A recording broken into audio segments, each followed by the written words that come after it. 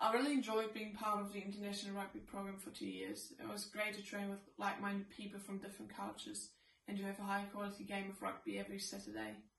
The IEP really made me understand the importance of having a growth mindset and that you need to work hard in order to become successful. The program also provides a really close support system which is fantastic as you're living really far away from your family. I didn't just grow as a rugby player but also as a person and I would recommend this program to anyone who loves rugby as much as I do and I'm really thankful for this opportunity.